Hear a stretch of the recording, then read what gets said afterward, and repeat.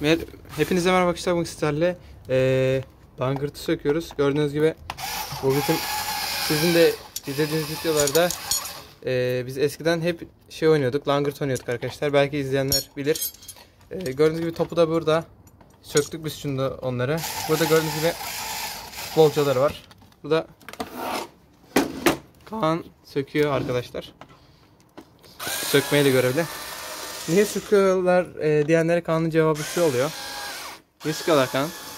Oğlum büyüdük lan artık. Artık büyüdük ve herhalde pazara da götürebiliriz, satabiliriz.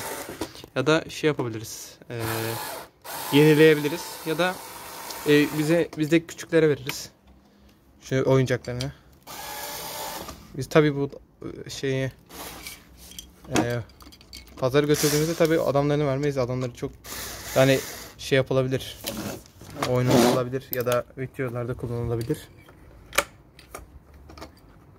Kan ışıklıydı değil mi bu?